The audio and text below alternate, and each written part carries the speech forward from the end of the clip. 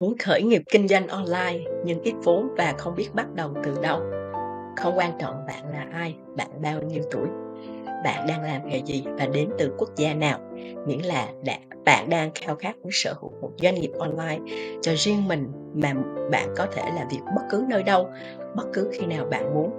Tôi muốn chia sẻ đến các bạn ngày hôm nay đó là mô hình kinh doanh trực tuyến toàn cầu với hệ thống tự động 24 trên 7 làm việc liên tục sẽ giúp bạn tìm kiếm khách hàng và chăm sóc khách hàng. Bạn sẽ không trải nghiệm sự thất bại khi tham gia mô hình kinh doanh này vì đã chứng thực bởi hàng ngàn người thành công trên khắp thế giới.